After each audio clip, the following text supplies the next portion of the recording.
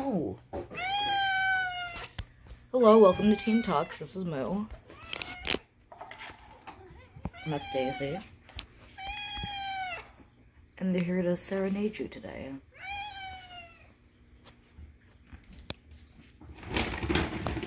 It's a very magical experience. Blink. Go ahead, Moo. Do what you do best. You're, you're kind of low energy today. Oh no, he's chilling. Kind of low energy.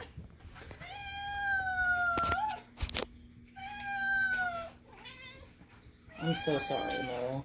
I know the world sucks and everything's awful.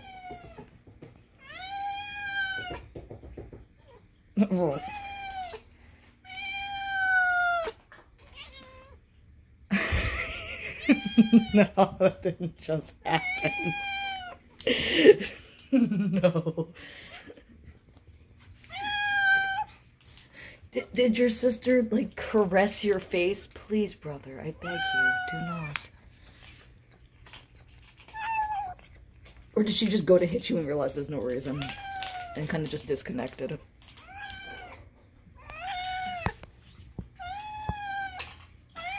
Up, up, and away. Yep, that's your medicine.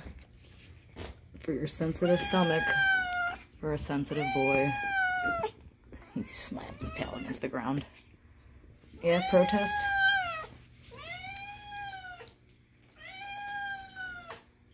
Daisy, you just don't get enough attention, my girl. What? Here we go. His paws against the refrigerator. he actually went against the wall. He like, he danced. That was a dance. Oh, nice. Is that your new thing? Are you gonna do dance? Ugh, love it. Oh no, ew, his whiskers are filthy. Perfect. A regular cat and the psycho boy. You know, some people would be offended by all the times I say like psycho and nuts and like that's like a thing nowadays. People don't like that. But as someone who's psychotic and nuts, I have no idea why not. Everything's great, you guys. This is clearly a very normal cat.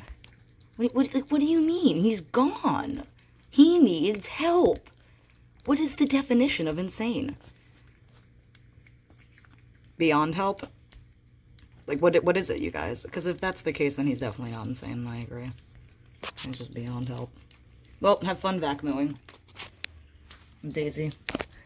Goodbye, lovely.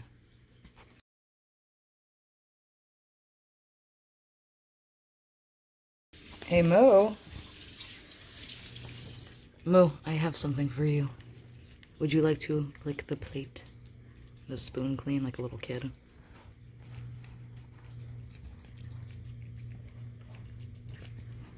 That's great. Good job.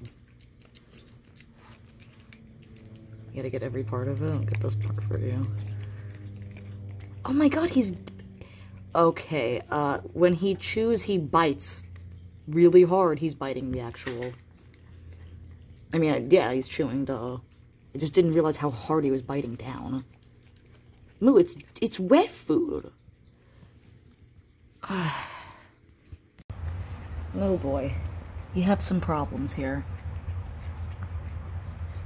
I tried to put some catnip down. I thought maybe he'd like it. Just out of curiosity. He does not seem to care. It is not food, so it is irrelevant. Alright, Mo, I'll let you go back to hyperlapsing. Or sorry, eating at a normal speed. My, my bad, everyone.